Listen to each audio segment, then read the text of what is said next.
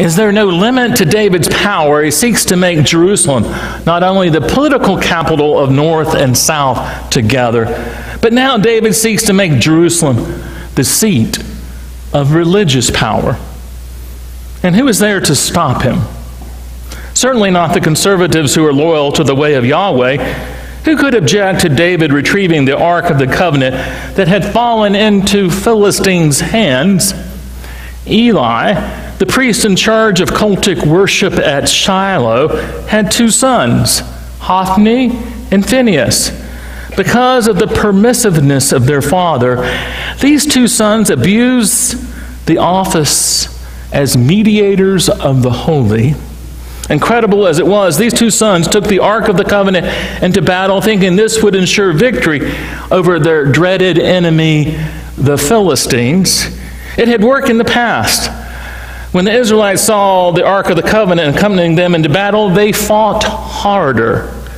It had become a tried and true formula using religious speech and symbols and the build up to war to guarantee legitimacy for one's cause. No one likes to die in vain, to believe that their fighting is to fill the pockets of their greedy king. National interest must be threatened along with one's way of life. Right must be on the side of might. The gods must give their assent to war, hence the use of religious speech and symbols in the build up to war and in the prosecution of the war. But something went terribly wrong this time. The Philistines saw the Ark of the Covenant in battle and knew their end was near unless they fought harder. And they did. So much so that they routed the Israelites. They captured the ark. Eli's sons, Hophni and Phinehas, were killed in battle. And as you can see, judgment comes to the house of Eli when the holiness of God broke out in unpredictable ways. Even the Philistines were not able to contain the Ark of the Covenant when housed in their sanctuary.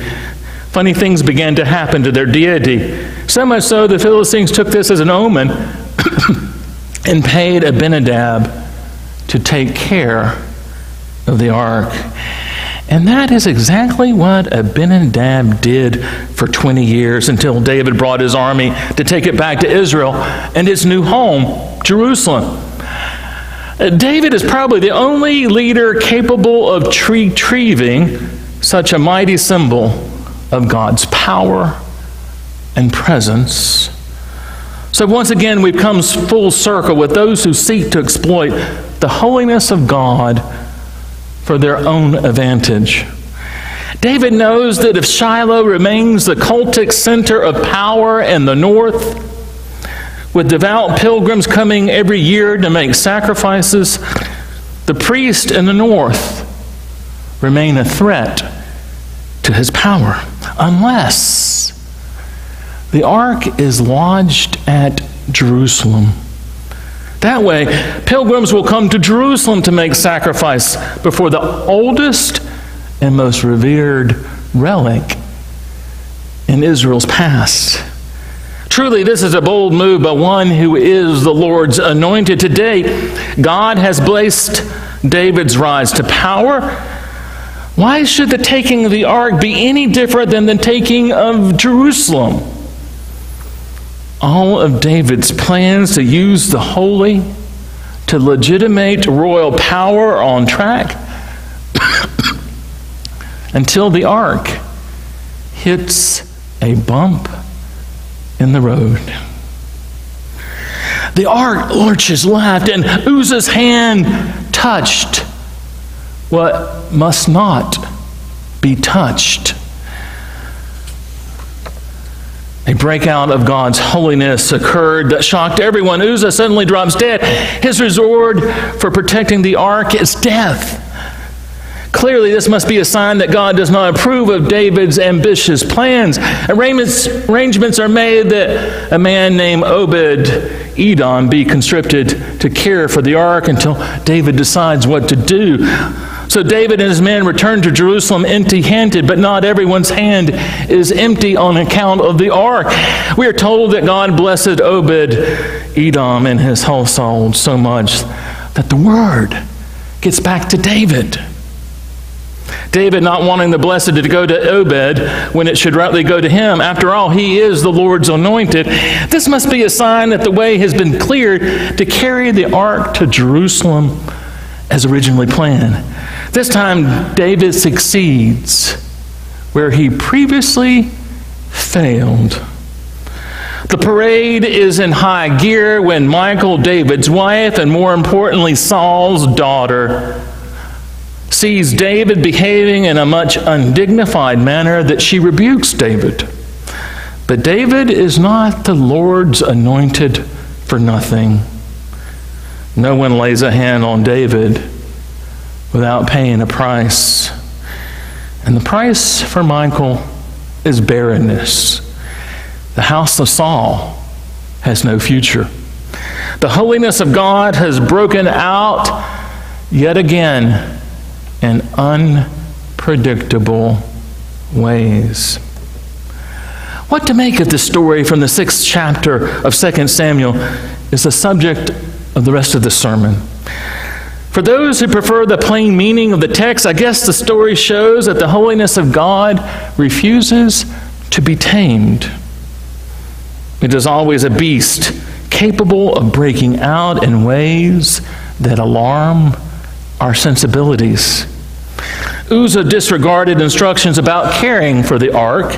According to the instructions given in Exodus, the ark was to be carried on poles, not on an oxen cart. Given that David disregarded God's law, an accident was waiting to happen, but why take it out on Uzzah? If any should be punished, it should have been David who sought to manipulate the holy to solidify his hold on power, but this is not the way the real world works back then, or even now. Our leaders rarely suffer for their manipulation the holy to legitimate royal power. Take, for instance, Constantine, who saw in the vision the sign of a cross and had his men put it on their shields in the battle at the Milvian Bridge. Constantine went so far as baptizing his army in the river as preparation for their holy assault. Ironically, the only part that was not baptized was their sword hand. It is this hypocrisy that caused prophets and poets to decry the use of the holy in legitimating an unholy act such as war. William Shakespeare has Richard III speak these memorable lines.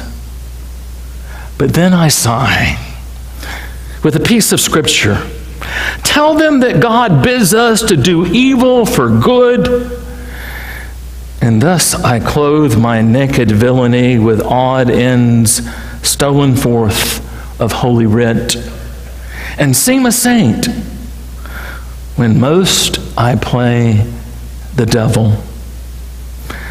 Thus, according to Shakespeare, one can use religious speech and religious symbols for unholy purposes. David did it, Constantine did it, all presidents since the founding of this republic have done it, and our present president does it as well. It matters not that the present president is a Christian or professes to be a Christian. What matters is the willingness to use religious speech and religious symbols to justify penultimate purposes in the name of the ultimate. It is the equivalent of using the Lord's name in vain. It is the equivalent of carrying the ark of the covenant into battle as if it guarantees success. It may be the equivalent of tanks parading down the streets of D.C., displaying America's military power, as if that guarantees success. Some have even suggested that our present president has been anointed by God for a holy purpose like Cyrus. Never mind that his lifestyle bears little resemblance to any holiness that I am familiar with. In the Old Testament or the New Testament. If he is anointed to a holy purpose like Cyrus, it might not be as an instrument of salvation, but of judgment.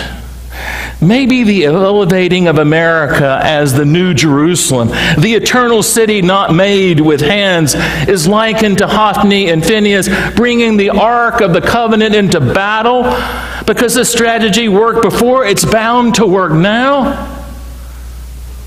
What they and we forget is that the strength of a nation is not in religious or political symbols, be they the ark or the flag.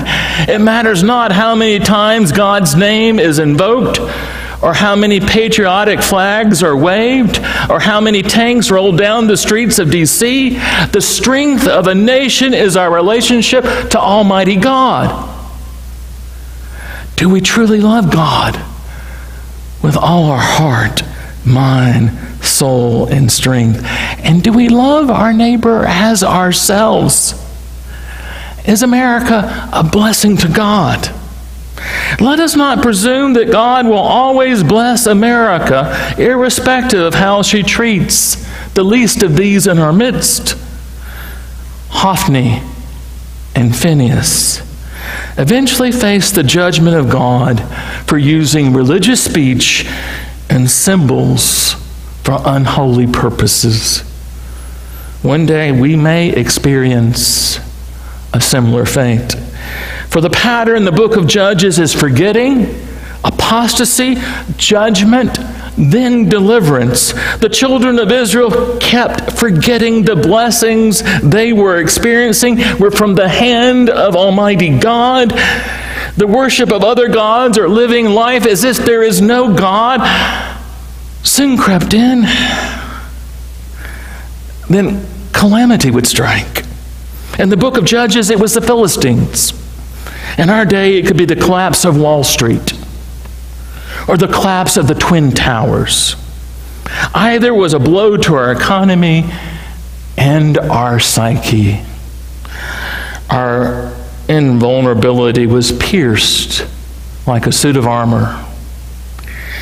In the aftermath, we cried out for deliverance just like Israel did in the time of the judges, and God heard our cries and sent deliverance.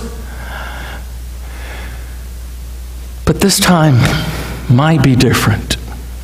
Unless we come to our senses before the holiness of God breaks out against us in ways that spells destruction for individuals and for the nation. And why should those like Uzzah, who are trying to right the ark from falling, be punished for trying to save democracy and the rule of law? David found out the hard way that God is not so easily manipulated for political purposes. So David abandoned his plan to bring the ark into Jerusalem and let Obed take care of it, and take care of it he did. And he was blessed for it. So much so that David sees this as a sign to bring the ark into Jerusalem and capture the blessings for himself. But what if our political leaders did not fervently invoke God's name to bless? but sought to govern life as God blessed it at creation.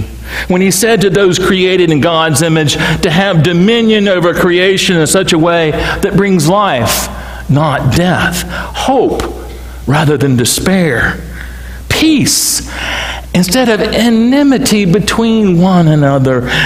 Instead of bearing the mark of Cain that kills his brother and then denies that he is his brother's keeper, we seek to bear the mark of Christ, the one who came to serve and give his life as a ransom for many. Instead of praying empty words and hackney phrases that have lost their power, why not let our life become a prayer?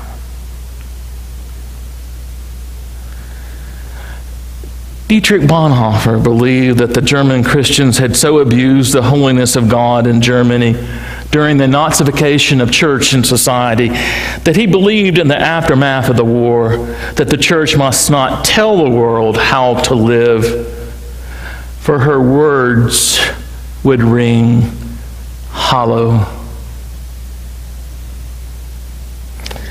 Instead, it should be a time of prayer and righteous deeds. I wonder if the time has not come again, especially in the wake of evangelical Christianity that resembles the likes of Constantine, to use religious language and actions to justify the actions of the state. In the aftermath of this war on decency, democracy, and truth telling, the church will need to pray and to do righteous deeds for the sake of the world. Abraham Lincoln was far from being a perfect president. But even amid the war, when men and women were sorely tempted to listen to their lesser angels, Lincoln did not.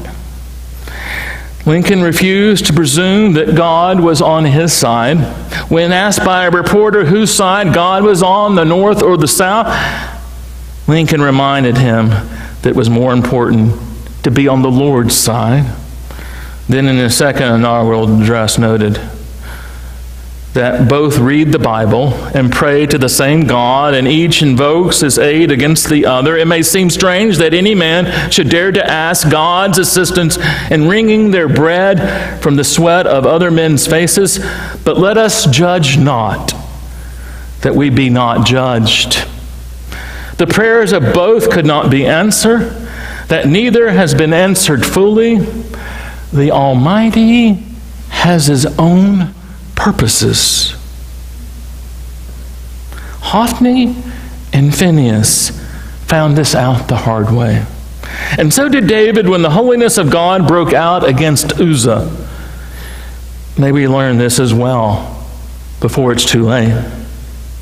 Moreover, let us remember as we come to this communion table that the Lord's anointed finds fullest expression not in David, but in Jesus Christ.